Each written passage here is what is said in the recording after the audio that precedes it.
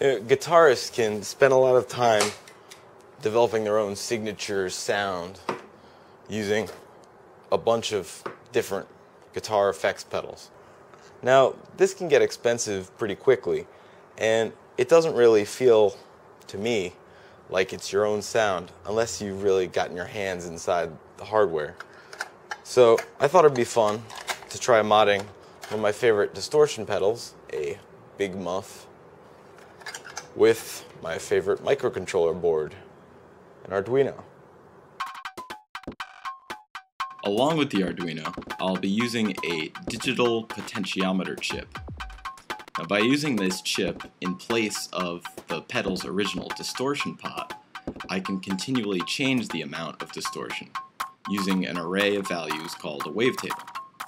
I'll experiment using a few different types of waves to see which sounds the best. Five connections need to be made between the Arduino and the Digipot. Three for serial communication, and two for power. On the pedal, I unhooked the three wires connected to the distortion control, and then wired them into the Digipot's remaining pins.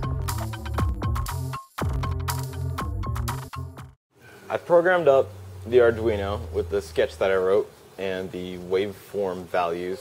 And I've also wired up a potentiometer and connected it to analog 1 of Arduino. Now, my sketch takes the value from that pot to determine how fast the distortion turns up or gets turned down.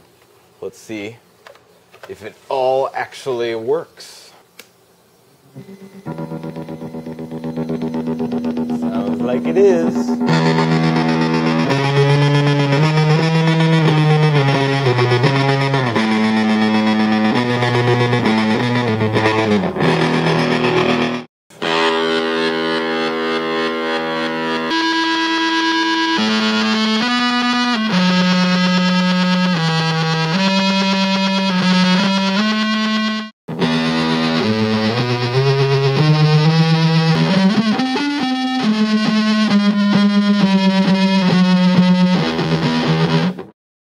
Think what I'll do is collapse all this wiring onto a little proto shield to stick on top of the Arduino and um, add a switch that'll let me choose between ramp, saw, uh, sine wave, and maybe I'll program in some other waveforms as well.